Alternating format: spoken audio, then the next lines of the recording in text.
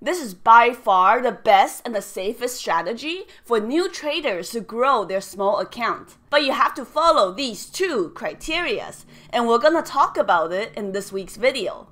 Buying the dip or buying the bounce or buying the morning panic, it's all the same concept. It's one of the oldest tricks in the book or DVD rather. And that's because it generally has a high probability of success rate. If you are selective, you cannot just buy any dip or any red candle pullback, or you can accidentally catch a rug pull and get dumped on. And trust me, getting dumped on by a stock is hell lot worse than getting dumped by a girlfriend or a boyfriend. I mean, that's what I heard from a friend.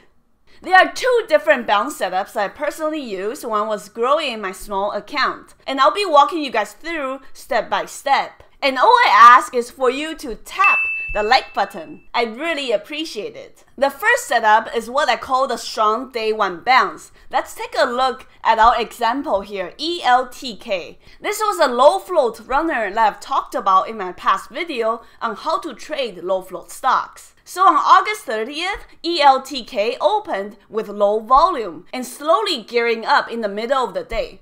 After that $5 line broke, that's when the buying volume started coming in to the stock. Now you don't want to be chasing that $5 breakout level that many chat rooms will be alerting. Because 50% of the time, these midday breakouts can turn into fake outs. The safer way to enter as a lone trader will be to buy the first pullback. But not just any pullback when you dip here intraday. We want to start by looking at the daily chart. Which brings us to the first criteria when buying pullbacks. The stock has to be breaking above major resistance line on the daily chart. Like I mentioned in my last video, the daily chart can provide you with a trading bias, either long or short, and also the important support and resistance lines that you should be looking out for, because those are areas of supply and demand. So looking at the daily chart for ELTK, you can see the last major run on this stock was back in late May of this year. After the stock sold off from $12, it was consolidating on the daily chart around that $5 support line until that support broke down even further, down to about 350s. And you can see that this prior $5 support becomes later resistance. That means the buyers that was holding up the $5 level, they have now turned into sellers. That's why on August 30th, that $5 resistance line is an important level for ELTK to have to break out above. We have to see enough buying demand to outweigh the sellers that was on the daily chart. That's when this prior resistance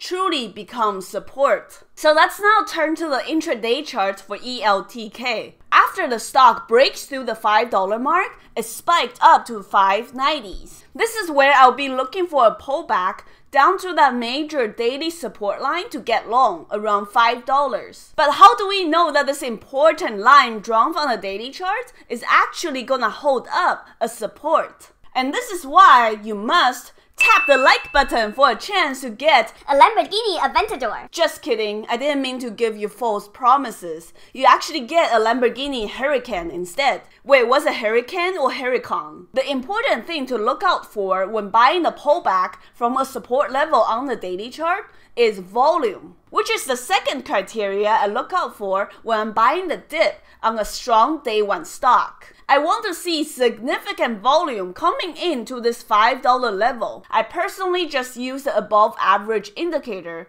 to see when a volume is breaking out to the upside. On the 3 minute chart here, you can see that ELTK, after selling off from the high of 590s, is starting to consolidate around that 492s area after this major exhaustion candle in which we see the stock selling off with heavy volume from 530s down to 490s. And after the heavy selling, you can see that the stock is consolidating around that 490s level and not selling off any further. This is where you can see down here, the green volume bar slowly coming in until it broke above that volume average. When you see this increase of buying volume around that daily $5 area of interest, this is when you know the buyers are stepping in to the stock and this is where you can get long. Some people like to anticipate and they just leave an order out at $5. If you choose to do that, make sure to scale in slowly and do not use your max size until the buying volume has confirmed. What I personally prefer to do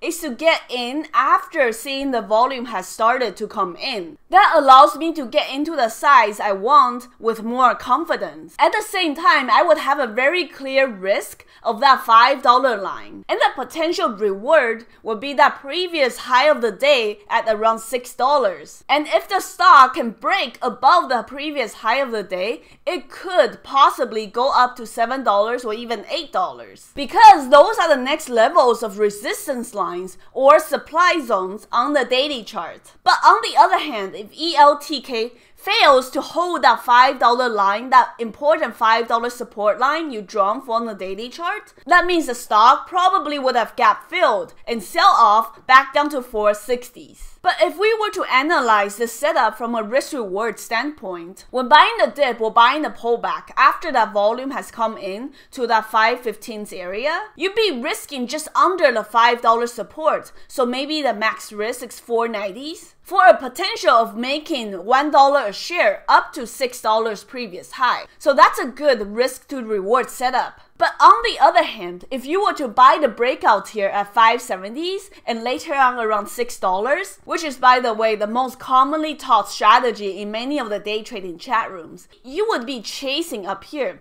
Then the risk will be 30 cents to make about 20 to 30 cents. So that's one to one risk reward. Not exactly a safe long term strategy that can help you grow your small account. Now let's go to the second bounce setup that I really like which is what I call the day 2 morning dip setup. This is very similar to the day 1 long setup with just a difference in timing. The day 2 morning dip, well, mostly happens in the morning within the 30 minutes of the open and it's very suitable for part-time traders let me explain in detail here with lci lci was a hot stock on the streets from august 28th to august 30th after the company has released better than expected earnings. The stock basically had an inside day on August 28th, but it held the daily gap up from $6 to $8, technically, without selling off, which is very impressive. So the same criteria number one from before applies here again. You want to see a strong daily candle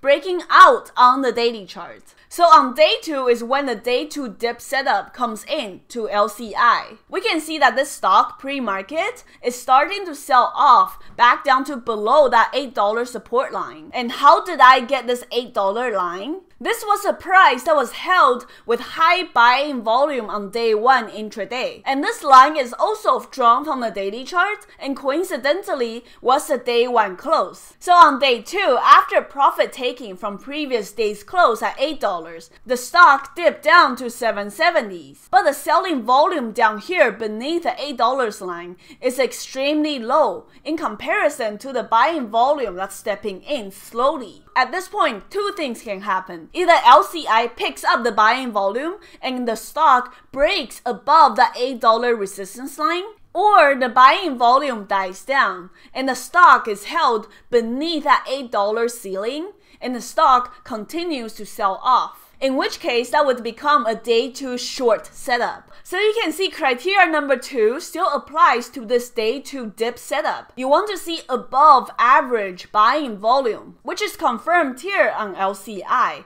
after the stock breaks above that important $8 ceiling with volume. This $8 line is also previous day's close, that means the stock has went red to green on day 2, which is an important psychological trigger for the longs to get in and the shorts to cover. As for entry, you can either get in long after seeing this wedge consolidation pattern break out above $8 with strong volume, or you can get in after the stock pulls back to 804. Both of these entries are valid, seeing that there's strong volume here to support your long thesis at $8. And the risk for this day 2 long setup will be the previous low of the day around 780s, with the potential of going back to previous day's highs around 880s. So you'd be risking around 20 cents to make 80 cents. That's good risk reward. The day one and the day two bounce setup are pretty similar, but the difference is that on day two, you have the day one support levels from the daily chart already confirmed.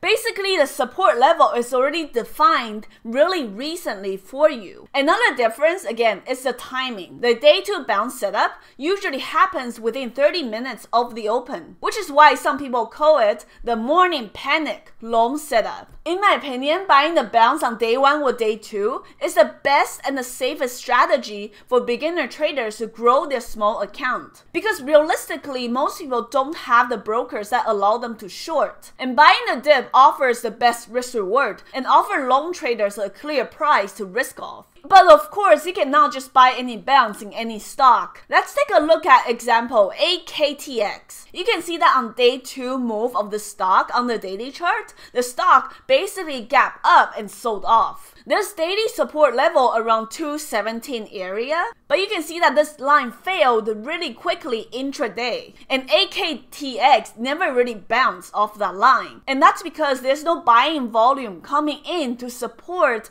the major price line from the daily charts. So that's the importance of using the daily charts and the intraday buying volume to find high probability bounce setups and filter out the rest, especially when we are in a buyer's market right now in August and September. On the other hand, when we were in a seller's market in late July, where everything just gap up and sell off, then buying the day one and day two bounce setup is probably going to fail more often than not. This is why there's no single strategy that will work 100% of the 253 trading days of the year. You need to be adapting to current market conditions and always be selective of your plays. Again, this buying the pullback or buying the bounce or morning panic, it's the most commonly taught trick in the book. Even though people teach the same setup everywhere, I found that not a lot of people explained why certain support level is going to hold while others fail. So hopefully this video really helps you guys out. And make sure to smash the like button for more quality day trading videos from the Humbled Trader. Thank you guys so much for watching as always, and I'll see you guys next week.